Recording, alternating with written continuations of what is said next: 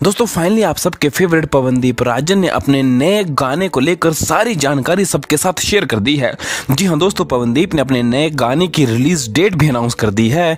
साथ ही साथ एक छोटा सा टीजर भी रिलीज़ किया है, जो कि पवनदीप के बाकी के सभी गानों से काफ़ी ज़्यादा अलग है। दोस्तों, काफ़ी दिनों से पवनदीप के फैंस कुछ ऐसा देखना चाहते थे, जो अब पवनदीप लेकर आ गए हैं। आखिर क्या है इसको लेकर पूरी खबर? चलिए आपको बताते हैं। नमस्कार दोस्तों, आप देख रहे हैं ट्रू बॉलीवुड चैनल पर अगर आप पहली बार आए हैं तो सबसे पहले जल्दी से हमारे चैनल ट्रू बॉलीवुड को सब्सक्राइब करें, साथ में घंटी के निशान को ज़रूर दबा दें। तो चलिए दोस्तों, पवनदीप के नए गाने की पूरी डिटेल आपको बताते हैं। आपको बता दें कि पवनदीप के इस नए गाने का नाम याद है, और इस गाने की खास बात यह है कि इसे पवनदीप ने खुद लिखा है, और कंपोज भी पवनदीप राजन ने ही किया है। पवनदीप के फैंस काफ़ी दिनों से एक ऐसा गाना देखना चाहते थे, जो पवनदीप का सोलो गाना हो। तो दोस्तों, ये गाना याद पवनदीप का एक सोलो गाना है। बात करें, अगर ये गाना कब रिलीज़ होगा तो दोस्तों 14 फरवरी को पवनदीप का ये गाना रिलीज़ होने वाला है। 14 फरवरी को म्यूज़िक पाई यूट्यूब चैनल पर यह गाना रिलीज़ होगा और आप सबको देखने को मिलेगा। ऐसा पहली बार हो रहा है जब पवनदीप राजन अपने लिखे हुए गाने पर एक्टिंग करते हुए दिखाई देंगे,